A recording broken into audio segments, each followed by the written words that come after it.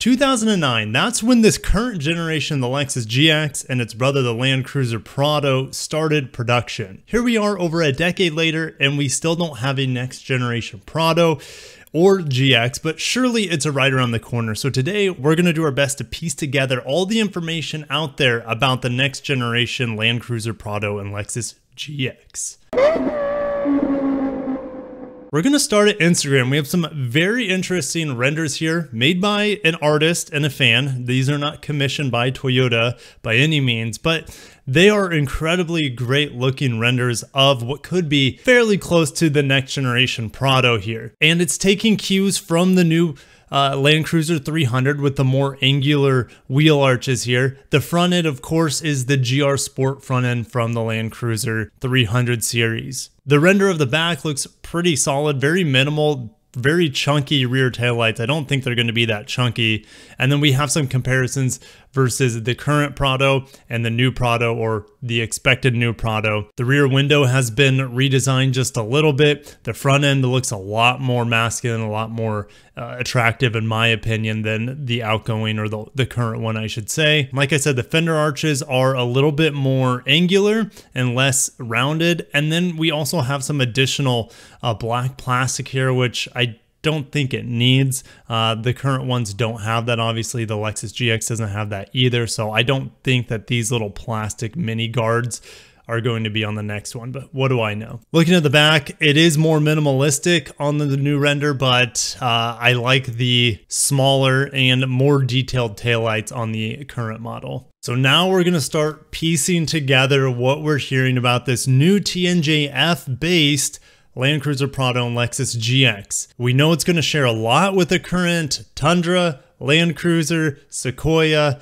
uh, anything that's body on frame on the new F platform. It's going to be modified in a smaller package for the Prado and GX, of course. And we're over at Car and Lifestyle. This came out December 1st, and the new Prado is to be delayed again. I've reported several times on the delay of the Prado, and it just continues to get pushed back even further. So they're thinking summer of 2024. That is a long ways out, and the vehicle will be 15 years old on the current generation when that comes out. So we're looking 2025 model year possibly. That I think that's worst case scenario. I know the vehicle's not going to be announced this year. I still have a sliver of hope for 2023, but it could be 2024. Toyota is just so backed up with orders for the Land Cruiser 300 and their product stack is very fleshed out with new products coming in the next two years that the Prado that continues to sell well is kind of on the back burner. They're saying it'll still be a three row, seven seater. However, the interior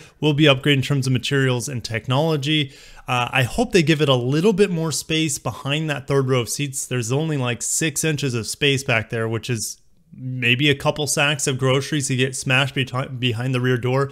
I hope they redesign that rear door so it doesn't swing open like a huge refrigerator door. Hopefully opens like a traditional hatch or better yet, give us a split tailgate. We don't get the split tailgate anymore in the Land Cruiser with the 300 series.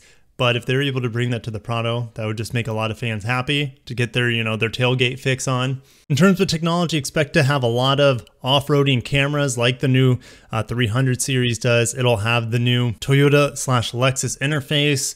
That's the upgraded infotainment that's in the vehicle. Wireless CarPlay, wireless Android Auto. They're saying it could likely also employ the electronic KDSS system that was debuted on the new GR Sport Land Cruiser. Now this is where it gets a lot of fun for me. You guys know how much I love talking about powertrains here.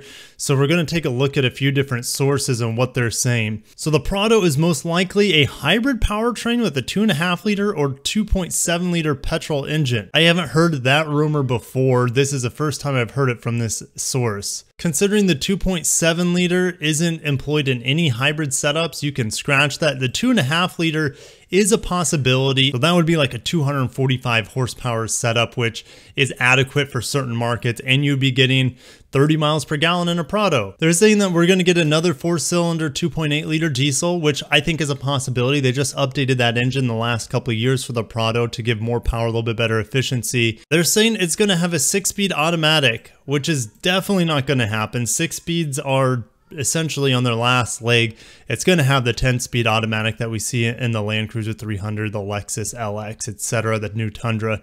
I don't see it having anything else other than the new 10-speed automatic. Now, going over to Spyder 7 Japanese scoop site, we have a little bit uh, more and different information here. They're saying like the full-size Land Cruiser went from a V8 to a V6 that the V6 that's offered in the Prado and Mini markets, the 1GR, the 4 liter V6, is going to be an inline four cylinder, and there is going to be a hybrid and newly developed 2.4 liter inline four cylinder, the maximum output of 250 PS. Now, the 250 PS, which comes from the gasoline engine, and then a maximum output of 150 PS from the electric side of things, uh, to approach 400 PS. We'll get in my spreadsheet and I'll give you guys a better breakdown of that setup. Cars Guide over at Australia, they're claiming more powertrain differences here, saying that the new Prado could be getting the 3.3 liter turbo V6 diesel that we see in the new 300. And that would make sense because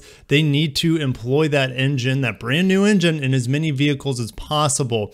Having it just reserved for the full size Land Cruiser 300 just doesn't make sense. And then now they're also claiming that we could be getting a hybrid variant of that 3.3 liter V6. Okay, over at the spreadsheet, I hope you guys have your snacks and drinks because we're to go down the rabbit hole with this one. There are so many different things telling us about the Prado uh, and the Lexus GX, which the Lexus GX makes a little bit more sense. We'll talk about that in a second. We'll start with the Prado powertrains and then finish with the Lexus GX powertrains for this next generation. So naturally aspirated V6, I was thinking they could cancel it altogether, but Heck, it's even offered in the Land Cruiser 300 in certain markets, so I don't think it's necessarily going away. I don't think the inline 4 diesel is going away for many markets as well. We've had heard rumors of a twin turbo variant of that inline 4 diesel, which would give us maybe an extra 50 horsepower, or so give us over 400 pound feet of torque. TNGA diesel, the 3.3 liter F33A, this is replacing that V8 uh, twin turbo diesel that was offered in the Land Cruiser 70 series, as well as uh, the outgoing Land Cruiser full sized one. And it offers 304 horsepower and 516 pound feet of torque. Hasn't been confirmed, I don't believe, for the Lexus LX yet, but yeah, it's it's going to be coming. I just revised the diesel hybrid, and if it uses the same electric motor from the iForce Max and the new Tundra, we're looking at 352 horsepower and a whopping 700 pound-feet of torque. That is insane. I know so many people would be clamoring for a diesel hybrid setup here in, in North America, but don't think that it's coming for the Lexus GX. Now, we also heard rumors of a naturally aspirated 2.7 liter coming in. I guess that could be in certain markets for the Prado, but I this is probably the engine choice that's most likely not going to happen in this spreadsheet. Naturally aspirated inline 4 hybrid though could be happening and again, use the same electric motor that's in the Tundra hybrids, and we get 237 horsepower, 316 pound-feet of torque. The most exciting thing about this would be 30 miles a gallon uh, for Prado buyers around the world. Again, I don't think we would be getting this option for the Lexus GX here in America. Inline 4 turbo, this would be the direct replacement of this naturally aspirated V6 in certain markets.